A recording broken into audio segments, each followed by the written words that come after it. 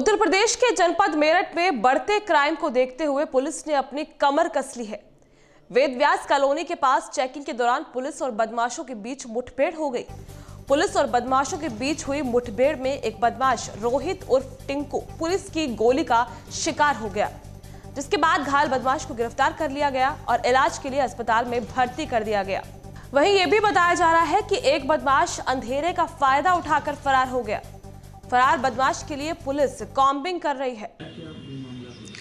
आ, रात जो है एक रोहित टिक्कू नाम का एक मरीज़ था जिसको जो है पुलिस वाले लेके आए थे थाना टीपी नगर से जो कि शिवपुरम का रहने वाला है।